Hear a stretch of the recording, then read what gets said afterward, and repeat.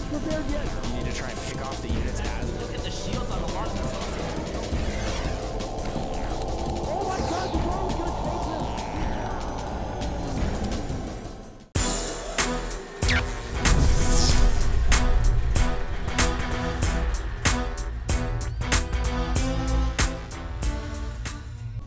Hey everybody, I am Artosis. He is tasteless. He is White-Ra, and he is Strelok. Wow, Artosis, that was an amazing intro. But yes, one of those three, he's me, tasteless. I am happy to be here with you, Artosis. We do have two uh, amazing players battling today. It's White-Ra and Strelok, both from Ukraine. But make no mistake, this is no provincial match, Artosis. Yeah, man, this is the winners round four. Okay, we are deep in the tournament, and in fact, this is a best of five, and there are no two players that I think I'd rather see in a best of five against each other. I have to tell you, over the years in StarCraft 1 and StarCraft 2, I have watched and commentated about 5,000 best of fives between these two players. They always meet each other. It's so weird, too, because uh, Ukraine, obviously not like the biggest country in Europe. Uh, you know what I mean? It's like we have like you know, let's say two uh, players from America or anything like that. But you know, like for esports, these guys have such a solid scene. you know what it reminds me of is Poland. Yeah. Um, you know, you would never think if you if you weren't into esports that Poland would be such a powerhouse in uh, in that area. Well, And then you find out no, in fact, it's huge there. No, I, I know it's quite crazy, but uh, between DIMAGA, White Ross, Strelok, and now Kas added in StarCraft 2, we have a bunch of heavy hitters, man. So, White-Ra normally, over the course of uh, the years, has uh, you know done better than Strelok overall, but Strelok he takes matches off White-Ra, so we're just gonna have to see how it goes. The map is Crevasse, uh, a huge macro map. We almost always see macro games here. Now, both players have pretty interesting styles. White-Ra will do anything. This guy will do Yeah, you know the thing about White-Ra is that he really understands the game on a very impressive, uh, in a very impressive way. Sometimes when I watch Strelok, I think I don't know if I really agree with that. I Yeah. don't think it's the way that I would handle this matchup. But at the same time, who am I to criticize Strelok? He's had such success in StarCraft One as well as Two. Yeah, no, exactly. Uh, that I would feel exactly the same as you, Tasteless. His style is not one that I particularly prescribe to. I mean, he gets very aggressive. He loves base trades. He loves to get do a lot of drops. Uh, sometimes we see some one base all ins and stuff. The guy mixes it up. You have to give him that. I think you know for somebody like White-Ra, this is one of the harder players for him to really predict. Yeah, yeah. But again, these two know each other so much, so well. They practice together so much, hit each other in tournaments so much. There's going to be a lot of inside mind games that we are not privy to. No, we're definitely the case. And they both think in Ukrainian, so even if we were privy to what's going on in their minds, we wouldn't understand. We wouldn't know, assuming they think in their native language Ukrainian, you know? Sometimes people think in pictures Artosis. Yeah, do they? Some people do. I don't. I think only Egyptians think in pictures. All right, we have three barracks on the way here for Strelok. And it looks like White-Ra is opening up with a fairly similar opener here, getting a quick yeah, access. yeah, just both expanding, utilizing the map and its features the way that it should be used, and uh, you know, just getting those units out so that they can't really kill each other. It looks to me to be the beginning of a very even game. Yeah, a very even game and one that shouldn't end right away either.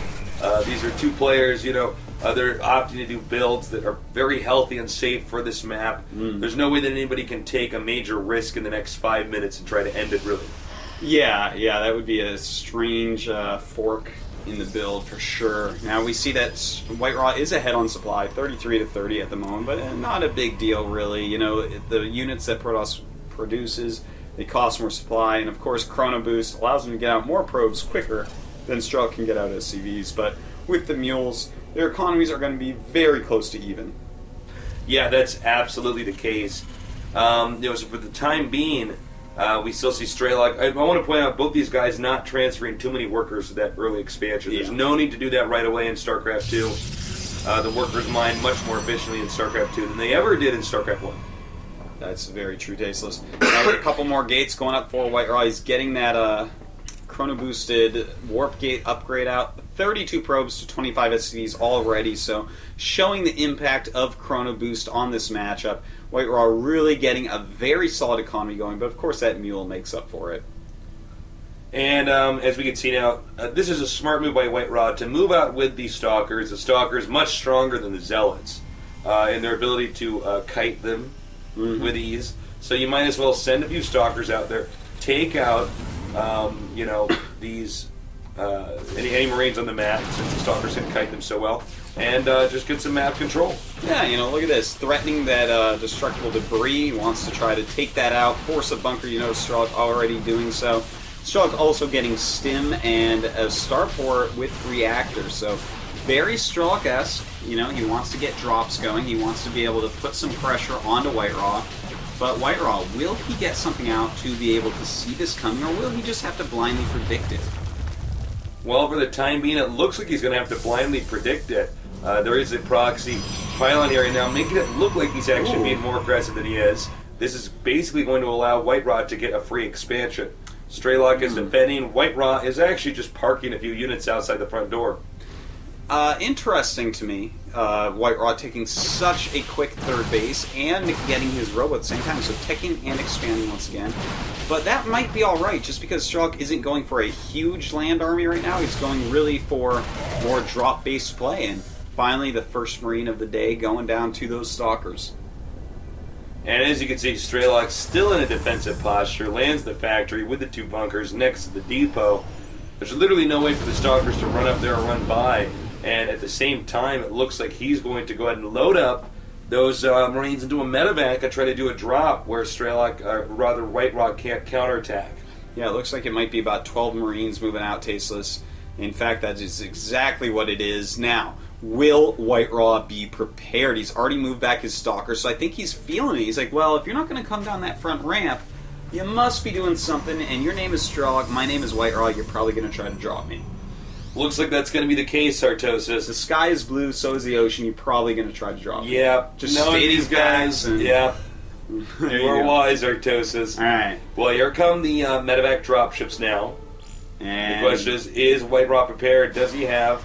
Yeah. He does. Looks right. pretty prepared to me. Five stalkers, more than enough to hold this off as long as you position them correctly. And very smartly, Strelok pulls a, a Yui. I don't know if U-turns are okay in that area of the air over I didn't see, uh, you know, one of those U-turn arrows there, but you know, sometimes you have to do the illegal move, Artosis. You, you, know, You wanna come through with a win? We have a very small little drop moving out now this way. I wonder what he's going to do with that. Might do simultaneous drops. You know, maybe one at the third, one at the expansion. But is dropping off these Marines. So uh, we may now see just a little bit of harassment, maybe taking down some rocks and stuff. You may as well make use of those units while they're out there. Yeah, absolutely. I think right now, uh, is kind of looking for an opening, but once he figures out that his opponent has already expanded again, and it was actually quite some time ago, he might enter panic mode, Artosis. Yeah, we'll we'll see. We have a Colossus about to pop out, and that, of course, is going to help out immensely versus Marine drops as long as he can get it close to them. Let's see how quickly Strelok reacts. Will he be able to pick up his drops quick enough? And do we have the first drop coming, Tasteless? Is it time? He's going to go into the main here, and here's another one of the expansion. Going to go uh, for some of these probes. Very nice. Yeah, I really like this. And look at that. As all the units come out to try to attack White-Ra there, I mean, uh, drops there. Look at this. A drop in the main, but White-Ra has split up his units just right and chases away the drop. Right now, 65 probes to 62 SCVs. Strelok taking his third base at this time. Uh, the epitome of close. You know, unfortunately, Strelok did not actually do enough damage. Yeah. He- He's not doing much yet. Yeah, I mean, he's sure he's keeping White-Ra at home, but White-Ra is fine being at home. He's hoping one of these uh, medevac dropships is going to fly into a group of stalkers, Mm. and uh, meanwhile he's getting more money more quickly. Only just now is the third base for Strelok up and running. hmm On the minimap, we see a fourth base coming up for White-Ra, and that is a quick fourth base, responding to Strock's third. But you know, Strock hasn't done any real damage yet, so that's going to work out. Even against a Marine Marauder composition, where oftentimes you have to let Terran get the bases quicker. But uh, White-Ra, he is on the ball. He is doing every little thing he has to do, and a Twilight Council about to finish. Double forages on the way. Charge before blink. I'm in love with this Ukrainian. And you know what, Artosis? That's where all of his chrono boosts are going to start going. Mm-hmm. He's going to chrono boost that stuff out so quickly. Uh, right now, he's continuing to assert his dominance on the map, chasing down uh, small forces of Terran units, keeping them out of the center and forcing their little medevac dropships to orbit around the corners of the map instead of in the center. Well, we have that Nexus almost done. Will Straw get any of these drops actually work now? He does know Colossus is out, so he's making Vikings. He's got to keep these medevacs alive, even if he loses the units inside them. That is very pivotal.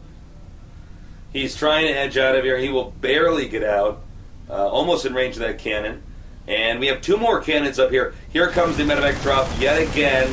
That's going to be annoying. Of course, uh, White-Ra he does not want to have Uh, to remake those he needs cannons. to get out. He needs to get out of that location and fast. And look at that, the double cannons are ready, and now he's getting so ready for these drops. Look at that, the stalker's being warped in. This drop over there not doing a lot of work, and oh, easily erasing this. And the medevacs, tasteless, almost all die. One three hit point medevac does remain, but that's that's not a lot of medevacs. Look at this, just Vikings and a bunch of units that can't be healed. If he wanted those drops to work, he might have wanted to move his army into the middle of the map. Yeah, that might have actually scared the Protoss into relocating. Instead, he's trying to drop all over the place. Wall Uh, just sitting. You're basically just crossing your fingers and saying, "Man, I hope my opponent is deficient in this way." Yeah. and that's my strategy for winning. Well, that's not a good approach to that kind of stuff.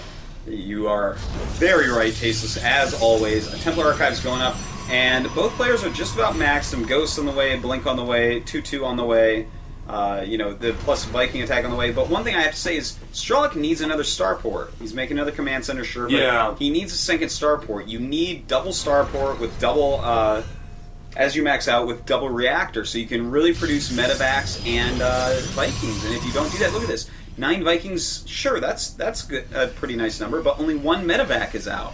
And I don't even think the medevac is. Oh, there it is. But just one is not enough to heal all those units. That medevac needs to be unionized. That's some serious. Uh, yeah, that's an overworked being overworked, man. Um, that medevac is showing all, sewing all the shoes. Yeah, no kidding. Uh, for the win. So let's see here. You know, he might be able to engage the Protoss army if he gets the right angle. If the uh, Vikings can get enough volleys up, we have an Archon on the way over here. It looks like Strelok's deemed it.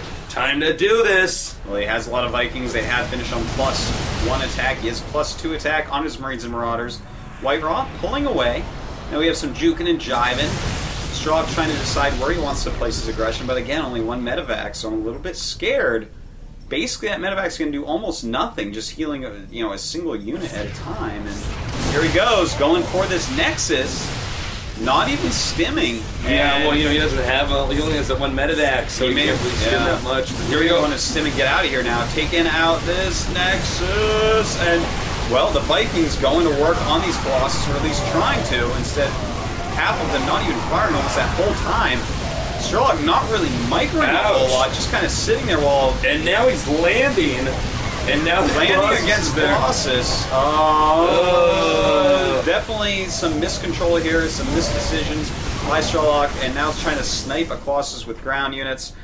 No, not going to happen. And suddenly, look at this. I mean, three three Colossus left. Strelok has nothing. Look at this. This is this is the equivalent of nothing this late game, and um, he is expanding more and more, which is nice. But he messed that up, man. Well, he should have shot down the first Nexus and ran for it.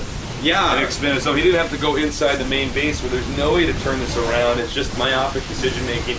And now you can see uh, as White-Ra uh, streams down the map, he wipes out the planetary the second it finishes. Zealots, Archon, Stalkers all moving in here. And look, Artosis, I don't see any way uh, that our Terran player can recover. No, it really looks like he is going to be dead. We have those Colossus just coming in with their beams. I think it's sound that sort of Uh, sounds like. You're better than me at that. Thank Oh, you. God. All right. Well, I mean, there's just too many stalkers here. There's too many colossi. Strelok will not be able to make enough units to actually get anything done here. In fact, losing that expansion. He's only mining from two locations at the moment while White-Ra has remade all his bases. Zealots in on the way. And uh, just these final stims, and I think that Strelok is going to have to GG. Yeah, this game is basically over, and there it is, GG. But- Let's go on yeah. to game number two, Artosis, and see if Strelok can engineer a comeback. It is a best of five tasteless. I feel a Strelok victory in the short future.